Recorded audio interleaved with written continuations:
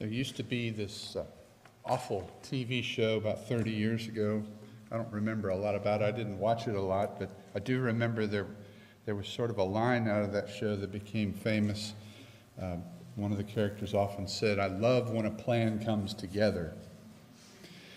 And I thought of that line this morning as we worshiped because uh, it seemed like nearly everything we did uh,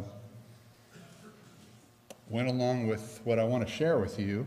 That wasn't our plan because we really didn't communicate between ourselves, but the, song, the songs, the, the, the cooperative reading we did, and about everything went right along with it. And you know, sometimes you can plan that um, as a group, but uh, I think that was more the Lord's doing, and more often than not, that happens. So I love when a plan comes together if it's God's. And that was a great encouragement. And nothing uh, slaps you harder in the face than reality. And nothing does better to wake a person up than ice cold splash of reality. There was a farmer who was coming out of his fields along the back roads of a remote area, and just as he pulled out on the road, a city slicker came speeding up over the hilltop and hit him and his entire rig. And, and so, uh, bad accident. The farmer is lying there. He's pinned under his wagon. His, his dog is not far away. His mule is across the road uh, on the other side in a ditch.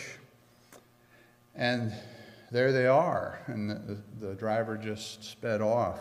Well, about that time, a, a car pulled up and the farmer thought, well, at last, someone is going to help me. And when he saw it was the sheriff, he felt even more relieved. And so the sheriff came and, and, he looked over the situation carefully, sort of evaluated things, saw that the mule had a mangled leg and was really suffering terribly. So he, he pulled out his revolver and shot it to end its misery. He then walked across the road and saw the dog was even worse off than the mule and, and shot him to end his misery. Then the sheriff walked back over to the farmer and, and asked if he was in much pain. and the farmer said, Never felt better in my life. yes, the, the ice cold splash of reality. You know, the Bible often calls us back to reality on many things. And perhaps the biggest reality each of us needs to deal with on a regular basis is the reality of God. His majesty, His greatness, His holiness. Does your knowledge of God include those characteristics?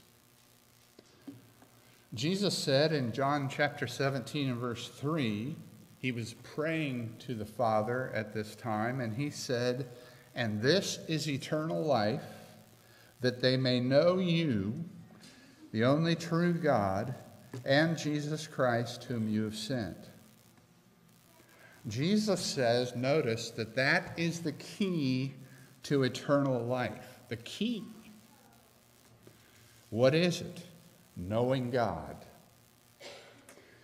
And friends, if you don't know about and respect and live under His majesty and His greatness and His holiness, then you don't really know Him. And maybe, in fact, you're devoted to something or someone other than the one true God. See, as as Christians living today, we many times have a problem with these particular characteristics of God. We're overimpressed with things in our world and underimpressed with the Rock of Ages. We bow down to modern heroes, whether they be athletes or influencers or politicians, and we often ignore the one who created them all. We understand how much our world can take our focus off of our God. And, and too often we have great thoughts of people and small thoughts of God. A lot of times I hear people emphasizing, thinking about the, the personal God in our day and time, the God who gently walks and talks with them. But the Creator, what about Him?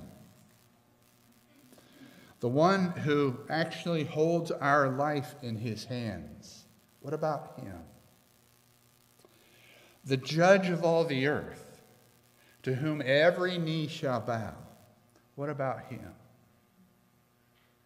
The one who controls the universe who holds it all together, without whom it would all fall apart, because he, remember, brought order out of chaos. Genesis chapter 1.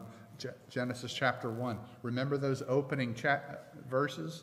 Those opening words of Scripture? In the beginning, God. What about Him? Is your God too small? Have you shrunk your God? Is our faith weak? Is our worship stale? Is our zeal extinguished? If so, then, then what we need is a good dose of reality the reality about God. Perhaps we need slapped in the face and woke up about this to the reality of the majesty and greatness and holiness of our God. I know that the nation of Israel needed that. God's chosen people, those who had been eyewitnesses to his mighty power, they needed woken up at times. So if you need that, don't feel bad, you're not the first one. If this is a problem for us today, how do we correct it? Let's remember some lessons that God tried to teach Israel. Now, how do we deal with the problem of our thoughts of God being too small? Because if we want strong faith, if we want revitalized worship or more devotion, if we want renewed zeal, it can only happen in the presence of an all powerful God. What do we need to do? A couple of things. We need to first remove any thoughts in our minds that limits God in any way. God is without limits by his very nature. It's, it's easy to to think of things that limit us. You know, time, finances, energy, desire, sin. But none of those things, you see, applies to God. God is eternal. God is not bound by time. He can see the beginning and the end of everything. From his perspective, he could be speaking to Moses from the burning bush and watching your heart right now to see how you're receiving this message about him. It's a fact that he is unlimited. The psalmist expressed it better than I ever could in the 139th psalm. Psalm 139. I want to read six verses of that psalm for you this morning from a, what I think is an interesting translation you may never have heard of before. It's called the God's Word translation. Psalm 139, verses 1 through 6. It begins, O Lord, you have examined me and you know me. You know when I sit down and when I get up. You read my thoughts from far away. You watch me when I travel and when I rest. You're familiar with all my ways. Even before there's a single word on my tongue, you know all about it, Lord. You are all around me, in front of me and in back of me. You lay your hand on me. Such knowledge is beyond my grasp. It's so high, I cannot reach it. You see, you see how these kind of thoughts of God could possibly inspire faith, could inspire worship, could inspire devotion, if your thoughts are big enough about Him. I think of Job. You know, Job was a righteous man who suffered greatly, and he wondered why. Why is this happening to me? Maybe you, you're familiar with that question. So Job asked God why. And in chapters 38 through 41 of the book of Job, God responded to, to his uh, question. The way he responded was by giving Job his resume of greatness.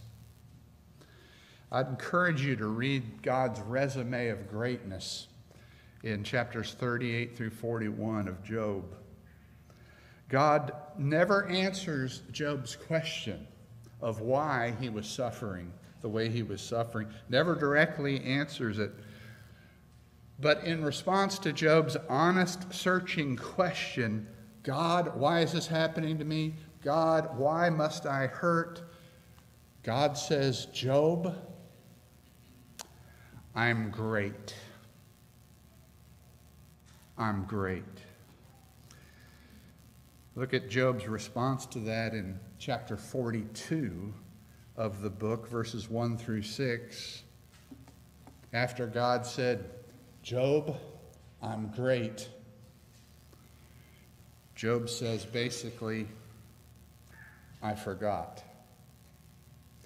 I forgot for a while who you are, God. Please forgive me. You're my God. And if that's the case, I can deal with it. I can deal with any situation.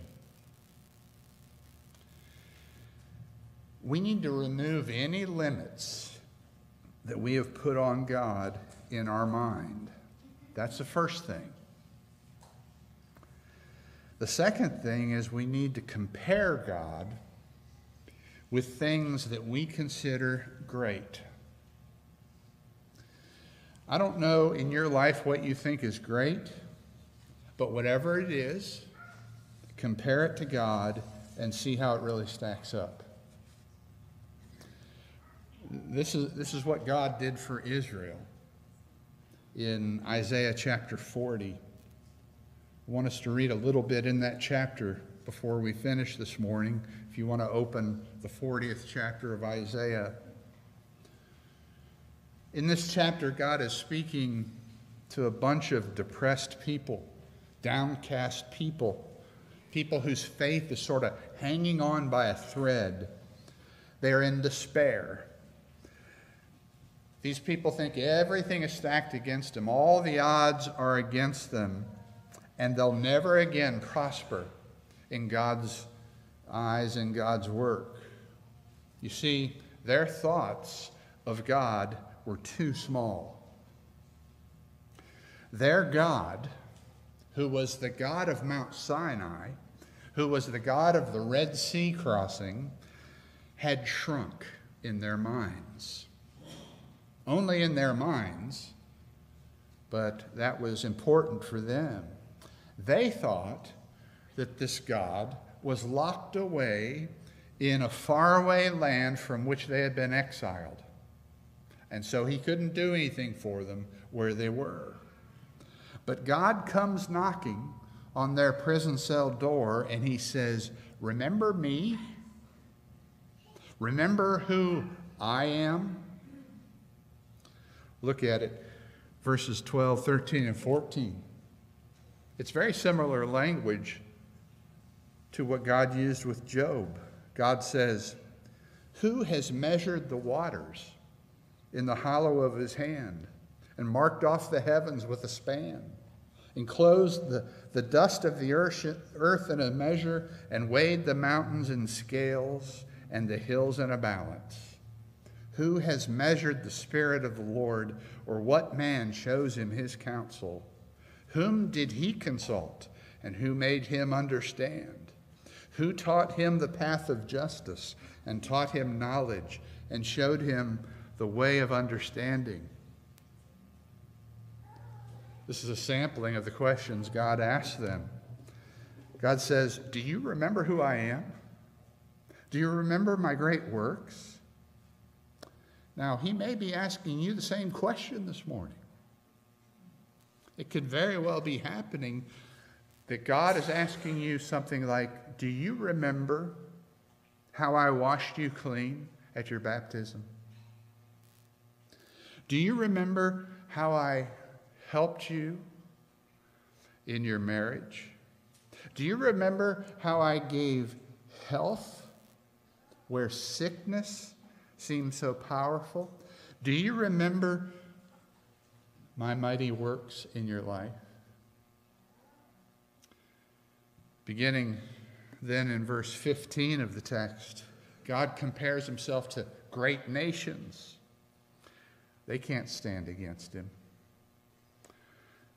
We might put it into more modern terms. We might say something like, Do you remember the Soviet Union? Some of us are old enough to remember the fear of the Cold War. Do you remember Saddam's Iraq? You see, great nations are nothing before God. Whatever happened to Rome? Where is the empire of Greece? And someday, if God lingers, some preacher may be standing in a place like this and, and saying, Whatever happened to the United States? Verse 22 God is compared to the earth itself. It says there, Isaiah 40, 22, it is He, God, who sits above the circle of the earth, and its inhabitants are like grasshoppers, who stretches out the heavens like a curtain and spreads them like a tent to dwell in. You know, there are those today who worship the earth and its environment, but the earth, compared to God, the Creator, it's nothing. The earth is, is like God's footstool. He sits enthroned above it, He is in control of it. And all the hustle and bustle that consumes us daily on this globe, it's like grasshoppers jumping in a field before God. God is above all that verses 23 and 24, God is compared to powerful men. Listen to what it says who brings princes to nothing and makes the rulers of the earth as emptiness. Scarcely are they planted, scarcely sown, scarcely has their stem taken root in the earth, when he blows on them and they wither, and the tempest carries them off like stubble. Think of the top two or three people in the world that people admire, that people are impressed with. I don't know who that would be, but how do they compare to the greatness of God? Do we need a reality check here? You know, you've probably done a price check or two in the last couple of weeks. How about a reality check today about our God? and who he is. And then in verse 26, lift up your eyes on high and see who created these. He who brings out their host by number, calling them all by name, by the greatness of his might, and because he is strong in power, not one is missing. To me, one of the most awe inspiring sights in the world is star filled sky. It so impressed people in the ancient world that they often turned to worshiping what they could see in the sky. They worshiped the stars, and, and some still do today when they take stock in horoscopes and astrology. But think of the one who put the stars there. How great must he be? How awesome. He knows how many there are exactly. And he has a name for each one. No scientist on earth can match that. So there's nothing to compare him to. There's no rival, there's no equal to God. As we wrap this up, God asks three questions, really to people who struggle with, with his majesty and greatness. Originally, of course, to Israel, he asked these questions, but these questions come to us today. Each one, each question has an implied rebuke. Question number one comes in, in verse 25, where he says, To whom then will you compare me that I should be like him, says the Holy One? Hear that question? That question rebukes wrong thoughts about God. Again, are your thoughts of God too small, too human? Is he limited in some way in your mind? Has he shrunk? Remember, he's not like us. He's God, we are not. We're not even little gods. Question number two comes in verse 27.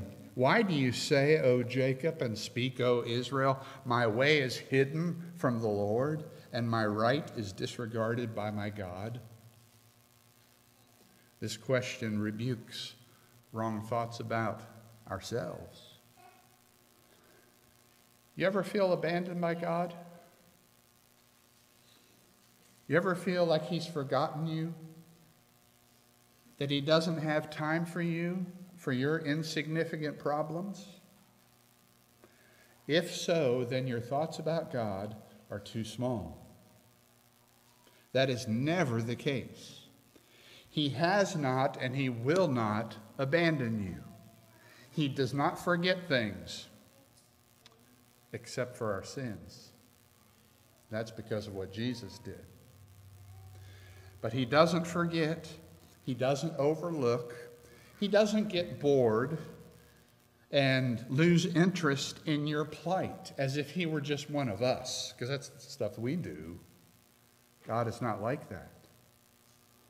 He doesn't forget. And finally, question number three, it's in verse 28. Have you not known? Have you not heard? The Lord is the everlasting God, the creator of the ends of the earth. He does not faint or grow weary. His understanding is unsearchable. The, this question rebukes our slowness to believe God's greatness. Has your God grown old or tired as you have grown old or tired? Has he become forgetful as you become forgetful? Has your God become bored as you've become bored? Then you serve the wrong God. Your thoughts of him are too small if that's the case. He is the everlasting God, He is the creator of the earth and the universe who doesn't get bored, who doesn't get tired, who doesn't forget. This is the God we came to worship this morning. Have we? This is the God we're called to serve this week. Will we? Let your thoughts of God be big. be majestic, be awesome. Serve the one true God revealed in Scripture. Don't settle for some cheap miniature imitation. God is great.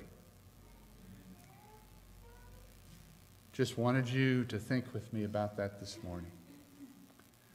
As we conclude, if, if you need to respond to this God's invitation that comes to you through his Son, Jesus Christ, who died for you at the cross, as we've remembered today, if you need to come to him for whatever reason this morning, we have a convenient time.